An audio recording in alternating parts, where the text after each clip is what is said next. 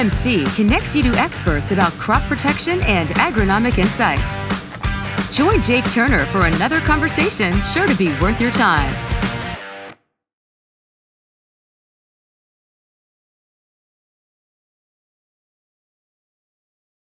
Can you talk about some of the most pressing pest challenges that Rynaxypyr and Cyazypyr based products are tackling for growers in the specialty and row crop markets?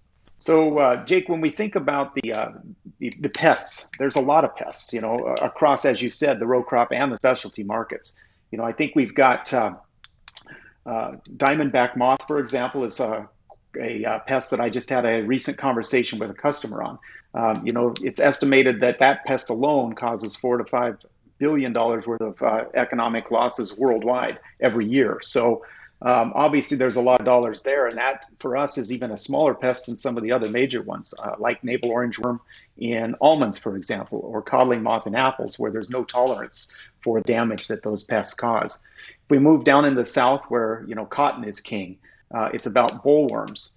Um, we talk about uh, corn and, and, soybeans. We've got uh, grasshoppers that can be an opportunistic pest. Uh, there's years where we've seen grasshoppers come in and just decimate crops, and they reach for the diamides first because they know that uh, they're going to provide the value needed to uh, to take care of the uh, damage inflicted by those pests.